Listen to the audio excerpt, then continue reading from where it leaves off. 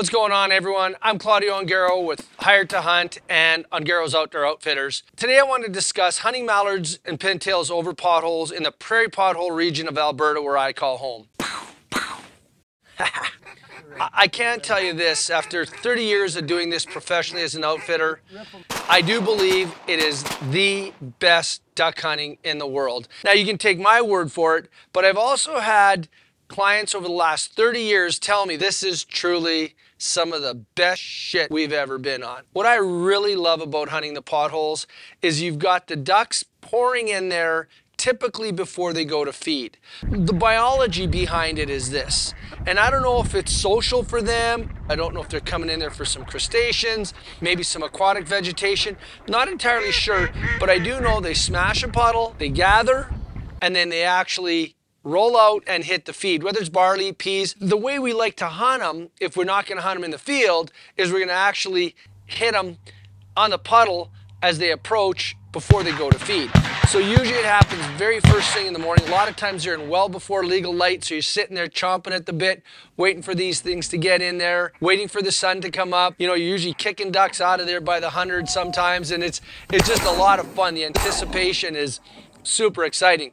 There's also something about that twilight, the smells, the sounds, the serenity of being on a pothole when the sun's coming up and that you know the sky is clear and you can hear ducks quacking from far off.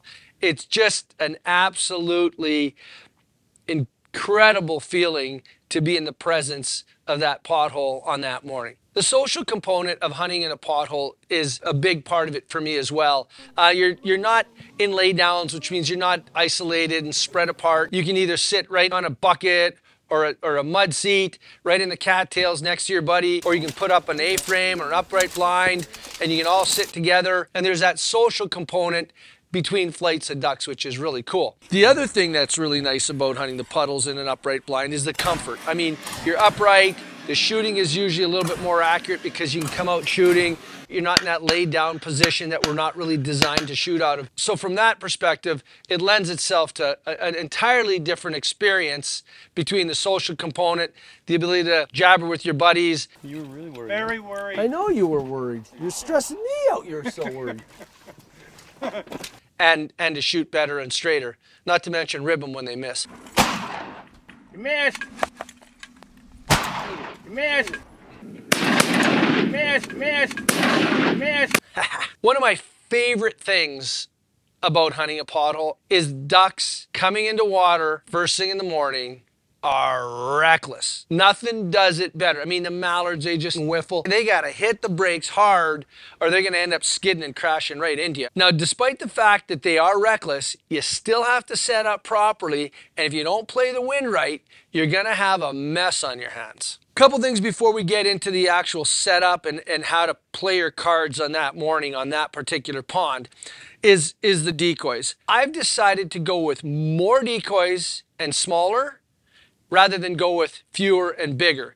The rationale for me behind that is, is I can throw 75 or 80 or 100 in the back of a truck. If I deal with bigger decoys, I can't get quite as many of them in the truck. I end up having to struggle to get them in and out of there because they're heavier. And it just makes more sense to me to have more, but smaller. You have to remember, they don't need to see them from that far because these ducks are coming there whether you're there or not. Smaller is better. Trust me on that deal. The one other thing you're gonna need when you're hunting a pothole, obviously, is some waders.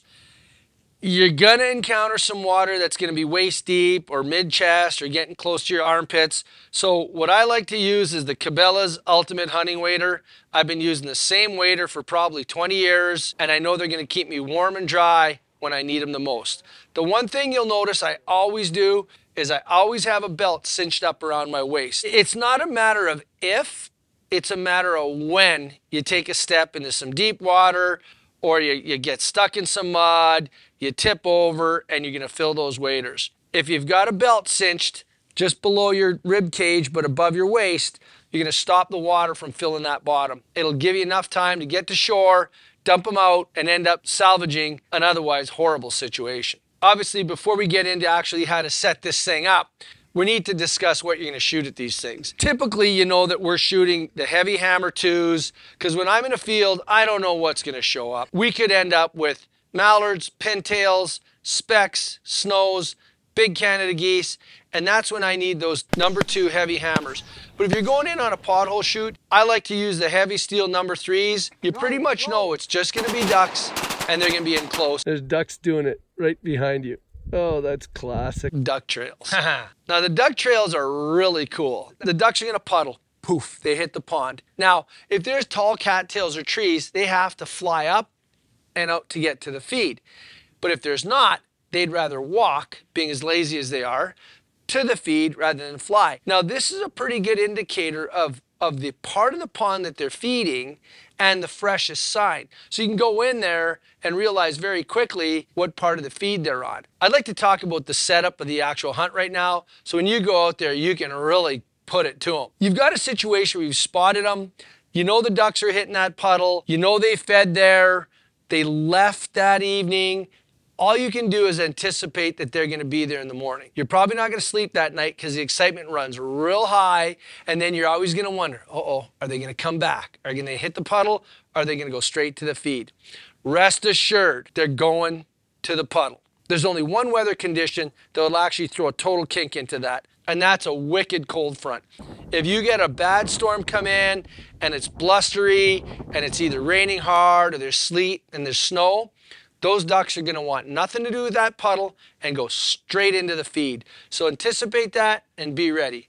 Otherwise, rest assured, sleep easy, and just know that those ducks will be pouring into that pothole while you're sitting there ready and waiting for them. So how are you going to do the setup? Very simple. First thing me and the guides do when we get to the puddle is we play the wind. Now, doesn't matter which part of the puddle, just make sure the wind is at your back. Even if they fed at the other side, unless it's a real big puddle, these birds are like little airplanes. They got to land into the wind. Find a spot where you can set up your upright blind, your laydowns. I'll leave that up to you. You're good hunters. Make sure you're well hidden and concealed. The next thing you got to do is get your decoy rig set up. For that, you just wade out into the mud, put a pod on the left and a pod on the right. Whether you have two pods of 15 or two pods of 40 or 50 like I like to throw out, the number doesn't really matter. Make sure you've got a gap in the middle and those ducks nine times out of 10 will fall right into that hole. I like to leave that hole 10 to 30 yards wide depending on how big the flocks are coming in. Stab a couple spinners or roboducks in the middle. Sit back, relax, and get ready to shoot a limit of mallards. Dogs absolutely love pothole shoots. They save us a lot of sweat and effort and slugging through the mud. Dogs are great. If you're interested in booking a hunt with me, visit ongaros.com for more information. If you like this video and you want to see more like it, let me know in the comments what topics you'd like to see. Hope you enjoyed this video. We'll see you in the next one.